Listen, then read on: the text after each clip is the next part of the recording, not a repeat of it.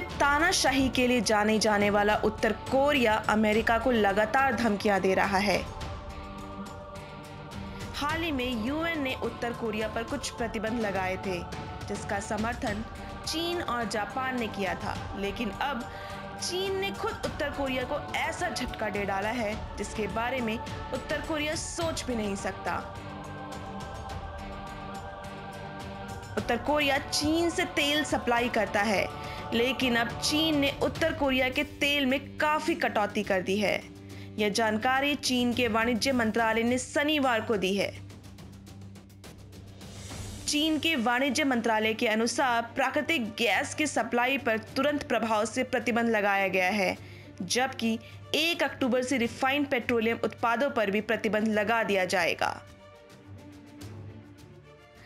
इस प्रतिबंध से उत्तर कोरिया को बहुत ही बड़ा नुकसान होगा, खासकर उत्तर कोरिया की राजधानी और सबसे बड़े शहर योंगयांग पर काफ़ी प्रभाव पड़ेगा।